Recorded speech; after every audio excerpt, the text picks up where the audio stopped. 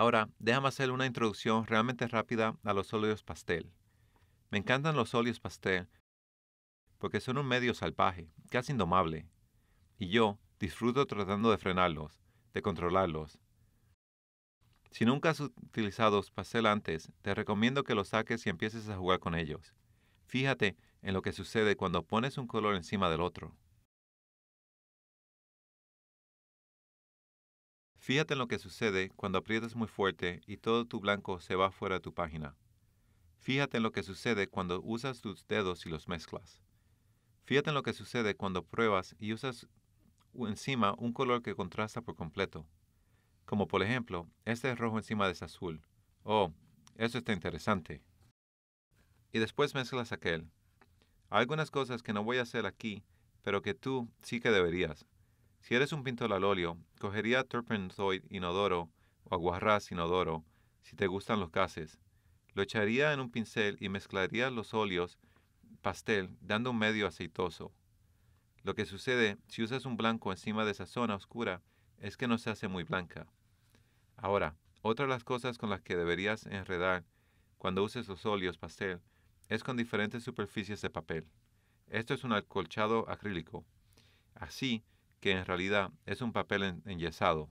Ahora vas a descubrir de forma bastante rápida que los óleos pastel tienen una sensibilidad y un áspero muy diferente en esa superficie que en el que tenía en la otra. En términos generales, con los óleos pastel trabajadas desde la pintura inferior o capa base y añades detalles. Por ello, puedes de eso hacer detalles encima de él. Permíteme mezclarlo en esto primero. Hablando de dedos sucios, he mezclado el morado en aquella otra página, ¿no?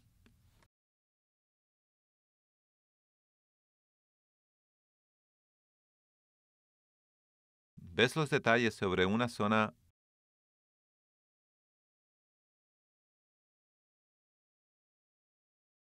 mezclada o alisada? Espero que puedas meterle zoom y verlo bastante bien. Tienes algo de efecto blanco, pero no mucho. Déjame mostrarte un último truco. Si lo que realmente quieres es que allí sea blanco en tu ilustración final, lo que puedes hacer es descubrir una amplia zona de tu papel con color blanco y después hacer los colores que vayas a querer encima de ese.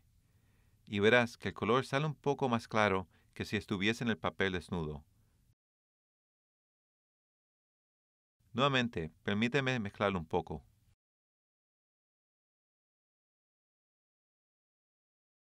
Dado que puse color blanco allí debajo, puedo coger un objetivo afilado, como por ejemplo una navaja, o en este caso una espátula, y raspar para volver a obtener un blanco casi perfecto. Por lo tanto, ese es un buen truco para hacer reales y detalles. ¿Lo has pillado? En definitiva, el óleo pastel es un precioso saco de trucos. Aprende los trucos. Mi prejuicio frente a los óleos pastel es que no me conformo con lo que los demás hacen con esas pinturas. Estoy pensando en ir a la feria estatal y ver la categoría de artes de instituto en la que tienen los estudiantes trabajando.